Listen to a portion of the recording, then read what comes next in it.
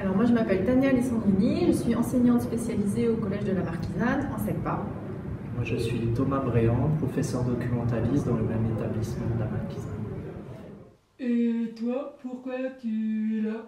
Qu'est-ce que tu viens faire à Ecritech euh, Alors nous, avons, enfin le web documentaire, il est interactif, donc il faut trouver euh, un point commun entre les différentes capsules vidéo puisqu'on navigue dedans en cliquant sur, euh, sur les items qui apparaissent. Et donc euh, bah, l'exemple concret, c'est qu'ils ont scénarisé autour de la création d'un jeu vidéo où il y aurait euh, une, héroïne super...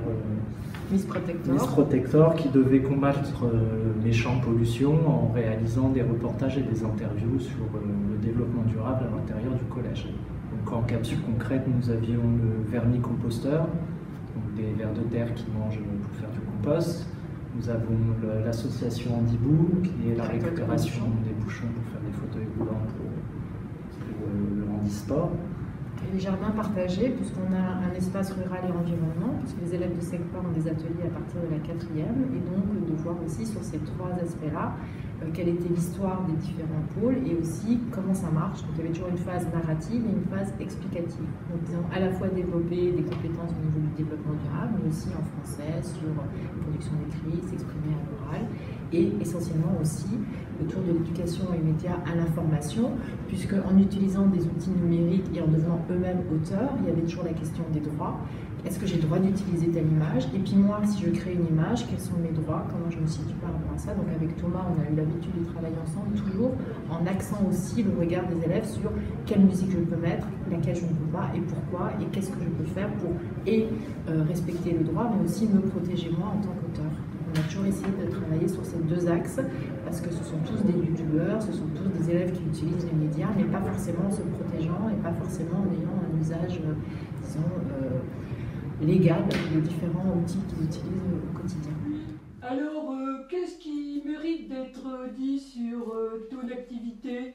C'est quoi les plus-values Oui, en fait, ce qu'il veut dire, c'est qu'est-ce qui est bien, quoi alors, le web documentaire a énormément modifié parce que euh, nous avons travaillé dans des espaces différents. Nous avons travaillé, nous n'avons pas fait forcément classe dans ma classe, c'est-à-dire qu'il y a eu des moments en classe, il y a eu des moments au CDI, il y a eu des moments à l'extérieur du collège, des moments dans la cour. Donc, on a déjà travaillé euh, essentiellement sous forme d'atelier aussi, pas forcément le groupe classe toujours en entier. On a travaillé ensemble. On a travaillé chacun de notre côté. On a travaillé sur le temps, c'est-à-dire qu'il y a des élèves qui passaient que 20 minutes, j'ai les extraits pour aller faire euh, les images, après ils retournaient en classe. Après, des fois, il y a la classe arrivait pour une heure entière au CDI, puis la moitié de la classe restait, l'autre moitié repartait en classe. On a aussi joué sur le temps et euh, sur les espaces, puisqu'à la fin de la première année où on a publié le web documentaire, on a créé donc un euh, SECPA dans la classe de Tania et un Fab Lab au CDI, ce qui nous a permis de laisser le matériel en place au lieu de le ressortir et de le ranger à chaque fois, de travailler avec ses élèves parce que dans une partie du web documentaire, il y avait dans le futur. Et donc, il y avait la classe du futur, le collège du futur. Et donc, dans la classe du futur, ils ont regardé la classe, ils ont dit non, ça, c'est pas une classe du futur. Et donc, ils sont mis à tout bousculer, aménager pour les besoins du web documentaire. Et suite à ça, ils disent bah, on va rester comme ça, on va pas remettre les vieilles armoires, on va pas tout. Donc, ils ont ensuite même voulu améliorer l'espace parce que les murs étaient moches, etc. Donc, ils ont peint les murs, ils ont tout, ils se sont réappropriés les lieux. J'ai complètement euh, enfin, j'ai eu l'autorisation de mon principal de mettre de la peinture. On a fait pas un fond vert dans la classe, puisque les élèves avaient aussi vu qu'il y avait une utilité. Et euh, ils ont fait un point lecture, ils ont pris les tables qui leur plaisaient, des tables hautes, des tables basses. Ils m'ont demandé pour mon bureau. Et donc moi j'ai dit que j'en avais pas besoin, donc ils ont utilisé pour eux, parce qu'ils trouvent que c'est un espace intéressant pour travailler en collaboration. Ils ont mis deux bureaux de classe pour faire un îlot où ils peuvent travailler. Et chez Thomas, il y a eu un réaménagement aussi de CDI, au départ pour le webdoc et maintenant qui perdure pour les autres classes aussi. Maintenant, le CDI est ouvert en Fab Lab tous les soirs ou tous les midis en fonction des activités des élèves.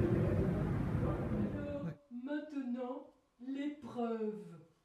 Ah oui, l'épreuve, oui, l'épreuve. Allez, et serais-tu capable de dire ça? Si les chaussettes se sont bien ensachées, c'est pour être chouette à écrit tech.